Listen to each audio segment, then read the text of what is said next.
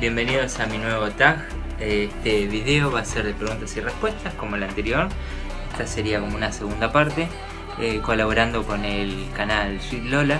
Así que bueno, acá empiezo con las preguntas.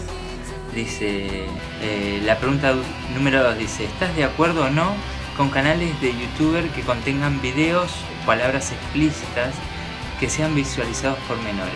Bueno, este es un tema bastante difícil, yo creo que eh, principalmente Google había iniciado con estos problemas. Eh, eh, yo siempre le mostraba hace mucho, ¿no? Te estoy hablando de 5 años atrás, vos ponías, por ejemplo, Barbie y te salían entre dibujitos, te salían siempre pornografía.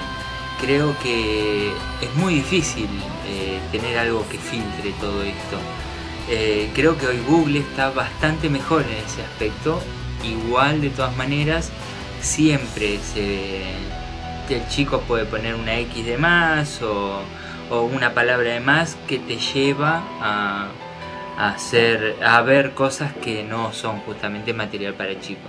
Y bueno, vos sabés que el chico también es muy curioso cuando ve algo que no es lo habitual y seguro entra, hace clic ahí de ahí se ramifica un montón de cosas que son todos materiales indebidos. Creo que en YouTube pasa lo mismo. Eh, hay chicos inclusive que suben videos, eh, me ha tocado verlos, con gestos o cosas que no son de material para, para chicos. Así que creo que está mal, lo veo bastante mal, sí. Eh, ¿Quién es tu youtuber favorito?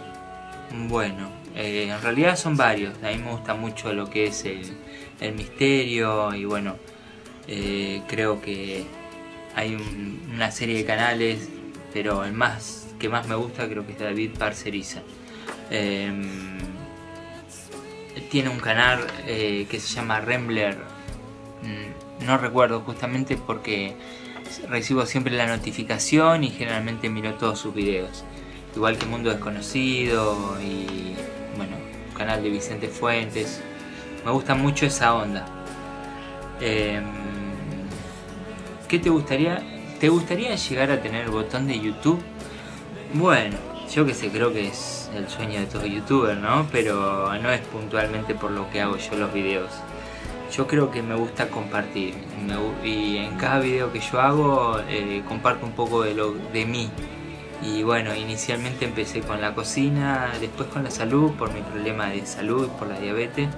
Y creo que hoy comparto terror y suspenso y esto de ovnis me encanta. Son todos temas que me encantan y bueno creo que es mi manera de decir bueno acá estoy y, me gusta eh, me gusta compartirlo bueno, seguimos entonces. Eh, dice, ¿subes videos? La pregunta número 5, ¿sube videos eh, por hobby o por fama? Definitivamente por hobby.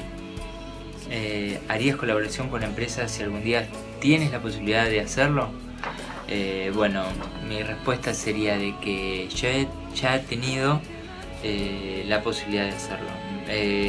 mi canal de a poco fue creciendo y bueno, tengo empresas que se han interesado en, la posibilidad de hacer un book de fotos para que yo esté como digamos con una carpeta y la posibilidad de que otras empresas puedan llegar a publicitar en, mi canal. Eh, de verdad que no se dio porque bueno, yo tengo otros trabajos y bueno, mi disponibilidad horaria no, no daba. Pero bueno, quién sabe, a futuro todo puede pasar. Em, eh, sobre todo de ficción, suspenso y terror. Afecta en lo más mínimo.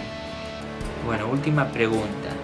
Bueno, la última pregunta dice denominar a, a quien tú quieras para que haga este tag. Bueno, eh, en este caso, bueno, para el próximo tag me gustaría invitar, no lo he hablado todavía, pero invitar a, a Morolov, que me parece que es una de las personas que me, me viene apoyando el canal desde hace mucho, tiene toda la buena onda y, bueno, creo que le va a gustar la idea de, compartir este tag con nosotros. Y bueno, eh, entonces ha sido todo por el momento. Eh, espero les haya resultado por lo menos interesante conocer un poco más de mí. Muchas gracias.